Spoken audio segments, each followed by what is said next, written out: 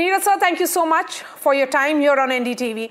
Uh, you know, you have written a very interesting book, and uh, that book certainly gives us a sense of how you have understood the realities of Dawood Ibrahim and, uh, and, and how he functioned, dial D for Don. Uh, when you look at the developments in Mumbai, the murder of Baba Siddique, what comes to your mind? First of all, Marya, I would like to say that uh, let us not jump to conclusions. Right now, only the foot soldiers have been apprehended.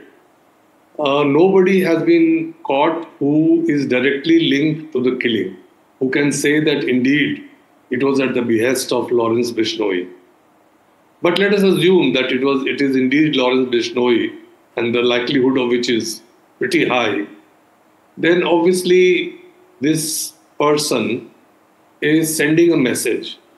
He's sending a message by killing uh, Baba Siddique, not only to the Mumbai film industry, but also he's sending a political message.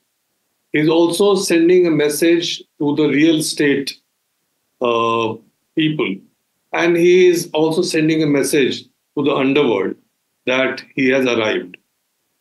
Uh, he already has a network in North India, as you know Punjab, Haryana, Delhi, Uttar Pradesh, Bihar, Jharkhand.